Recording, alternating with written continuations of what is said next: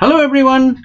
Welcome to the tutorial number 16 of IIT JAM Chemistry and this is lecture number 2 of the physical chemistry chapter gaseous state and the subtopic which is going to be discussed here is collision diameter and collision frequency. Let's begin with collision diameter. When two identical molecules approach one another then the distance of closest approach between the centers of molecules is known as the collision diameter which is denoted as sigma. Here's the picture where two molecules are approaching each other. They are identical and spherical in shape and this one is approaching from left to right and this one is approaching from right to left and this is the closest approach where this is the point of contact and in that case the distance the minimum distance of the two centers is known as the collision diameter. Now move on to collision frequency. And the number of collisions per unit volume per unit time is called the collision frequency. That is you the gas molecules are kept at a particular volume which is unit volume. Now they are colliding with each other. So the number of collisions in one second is called simply collision frequency this is the molecules which is moving from this direction to this direction from right to left. So its collision diameter should be from here to here in the downward direction or from here to here in the upward direction. Now if ca is the average speed of that molecule then in one second it will travel from this point to this point. Simultaneously it will produce a cylinder of this type of cylinder which is actually made by the collision diameter. And in that case collision diameter is considered as the radius of that cylinder. So the cylinder is swept away by this molecule in one second. And the cross-sectional area of the cylinder this area or simply the area of this circle is known as the collision cross section and the value is pi r square. Here in place of r we are writing sigma so it is pi sigma square and the SI unit is meter square. Average velocity we know about this. It is ca meter per second. Now the volume of the cylinder swept away by the molecule in one second. So in one second it is traveling from here to here. So the volume swept away is actually pi r squared h. So the value of r is sigma and the value of h is ca and the unit should be meter cube per second because we are just multiplying this with this one. So meter square into meter per second. That means meter cube per second. Therefore the volume of the cylinder swept away by the molecule in one second is pi sigma square ca meter cube per second. Now the centers of the molecule which will fall within this volume in one second. How could you calculate this? Simply just uh, multiply this volume with the number density. That will be the uh, number of molecules which would collide with this one. But one thing is um, here we have to mention that there is an assumption that only this molecule is moving and all other molecules are are static. That is they are at rest. In that case the collision frequency should be denoted as z1 only. Look here it is assumed that this particular molecule is only moving and all other molecules are at rest. Now the second line is more important. The total number of other molecules that will have their centers within this cylinder in one second. So this is the cylinder which is produced in one second and the centers number of the molecules who, whose centers would fall within this volume in one second. What should be the value? Simply the product of these two number density into the volume of the cylinder and what should be the unit? Meter cube would be cancelled by meter cube inverse so only second inverse and this is the result pi sigma square ca n prime and the unit must be second inverse. That means the number of collisions per unit second and this is denoted as z1 why only why z1 only? Because this frequency is actually the number of collisions experienced by only one molecule and here this equation pi sigma square ca n prime equal to z1 is a temporary equation because this is only by considering the 180 degree collisions but there are lot of collisions which are other than 180 degrees.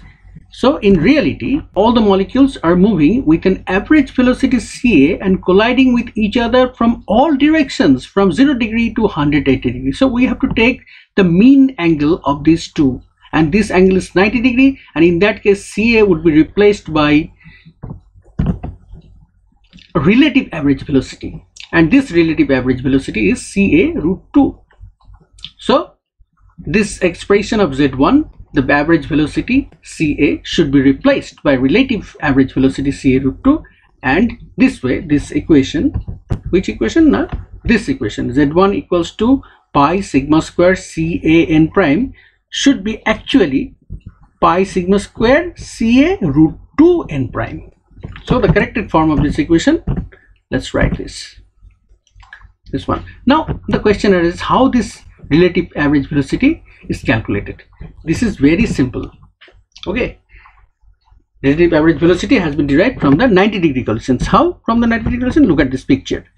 Suppose this molecule is coming this molecule is coming from this point to this uh, along with this direction with average speed ca this one also having speed ca but it is coming approaching from this point to this point that means from this direction.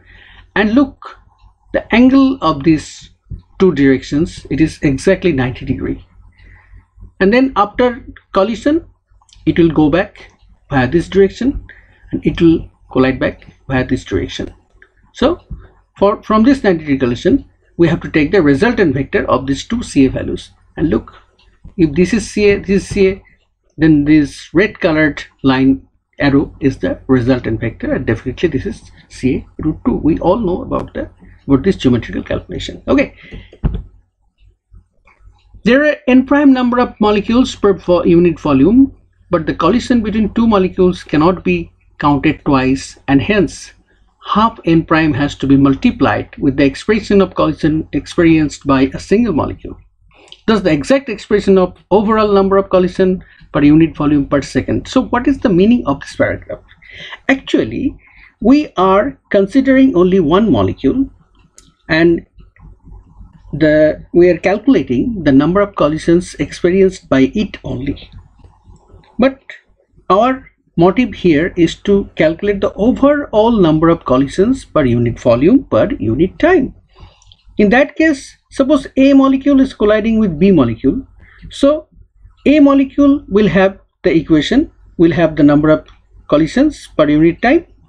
That is pi sigma square ca root 2 um, n prime. The number of collisions experienced by b molecule that is also having the same value. But here we are counting the same collision twice. So we have to divide this by 2 so this is for in for the case of two molecules. So in case of three molecules there are three collisions experienced by these three, but the fact is that exact number of collision is 3 by 2. Similarly, for n prime number of molecules, the that equation z1 must be multiplied by n prime by 2. That means half n prime. So, if we want to calculate the value z11, that is the overall number of collisions per unit time per unit volume by all the molecules, then in that case, we have to multiply this value of z1 with half n prime and this way we get the exact expression of z11 according to equation 11 and that is the product of these two. 1 by root 2 pi sigma square ca n prime squared. And the unit must be meter per meter cube per second. That means per unit volume per unit time. So this is the equation. And here we are writing z11 because two similar type of molecules are colliding. And this type of binary collisions per unit time per unit volume is being calculated here by following this equation. So this is the final equation. Now here in equation number 11 there is no mention of temperature nor pressure. Okay so we have to relate them. If n number of gas, n moles of gas occupies V volume, then this V volume is occupied by n into any number of molecules because one mole contains Avogadro number of molecules. Then n mole would contain, contain n into Avogadro number of molecules. Therefore, the number of gas molecules per unit volume that is its number density. This what? Now, simply this overall number divided by the total volume that is the number per unit volume. So it is n small letter n Avogadro number divided by volume. But we know from the relationship PV equal to nRT n by v must be equal to p by rt so in place of n by v we have put here p by rt now we are taking this na below r here. So we are getting the expression r by na in the denominator. And in the numerator p is as usual t is as usual. It is present here. So r by na we know this is the molecular gas constant and this is nothing but the Boltzmann constant. Okay. And here n by v equals to p by rt we are mentioning it here. And this is equation number 12 now let's recall equation number 9 what was equation number 9 in the equation number 9 we had the expression of average velocity ca and it is nothing but equal to root over 8 kt by pi m so we have to put this value. Two values. One is n prime another is ca so with the help of equation 9 and 12 equation 11 becomes this one. 1 by root 2 pi sigma square. Now in place of ca we are putting this value and in place of n prime we are putting this value. And the final result is sigma squared root over 4 pi by mk cube into p squared by t to the power 3 by 2 so all these terms are constants and these two are variables. Therefore for a particular gas z11 equals to some constant. This part is totally a constant into p squared by 2 to the power 3 by 2 and this is equation number 13 and uh, what conclusion we can draw from here? When this one is constant it is proportional to p squared directly proportional. When this one is pressure is constant then it is inversely proportional to the 3 by 2th power of temperature. So we can conclude like this. Binary collision frequency is directly proportional to the second power of pressure when temperature is kept constant and inversely proportional to the 3 by 2th power of temperature when pressure is kept constant. Now this is for constant temperature or constant pressure. What about at the condition when the volume is kept constant. From the gaseous equations, there is Gay-Lussac's law. And according to the Gay-Lussac's law, when volume is kept constant, the ratio of pressure and temperature is also a constant. That is P by T equals to constant. So if you put any power on P by T, then this is also a constant. That means P to the power some power divided by T to the power some power is also a constant and if this power is n then n can be any number. So from this relationship we can conclude that p square by t square is a constant or p to the power 3 by 2 divided by t to the power 3 by 2 is also a constant. Now putting constant into p square in place of t square or constant into t to the power 3 by 2 in place of p to the power 3 by 2 in equation number 13 let's look back equation number 13 this is equation number 13 so this one we'll just replace this by p to the power 3 by 2 into some constant okay so it will give some constant into p to the power half or here you put t to the power t squared into some constant then it will give give yet another constant into t to the power half so this is the relationship. Z11 equals to another constant into p squared by p to the power 3 by 2. That means this is p to the power half. That means Z11 is proportional to p to the power half. Or when if you replace this part from equation 13, this part by p squared into some constant, then it will give z11 equals to some another constant into t to the power half that means z11 is directly proportional to t to the power half so at constant volume constant frequency is directly proportional to the square root of temperature or pressure when the volume is kept constant now binary collision between two different gases till now we have been calculating Z11. What about Z12 when the molecules are not identical? So if there are two different types of gases, say within a mixture, then the number of binary collisions per unit time per unit volume is Z12 and the expression is nothing but here N1 prime N2 prime. So N1 prime is the number density of the first gas component and N2 prime is the number density of the second gas component. And sigma 1 2 is actually the um, collision diameter arising out from the two different molecules. That is this is the distance between the center of the two different molecules and mu is reduced mass. If m1 and m2 are masses of the two gaseous molecules then 1 by mu equals to 1 by m1 plus 1 by m2 this way we get equation number 14 so here let's elaborate. N1 prime n2 prime number densities of the two gaseous molecules. 1 by mu is 1 by m1 plus 1 by m2 that is mu is reduced mass here and sigma 1 2 is the average collision diameter. Okay. Of the two molecules.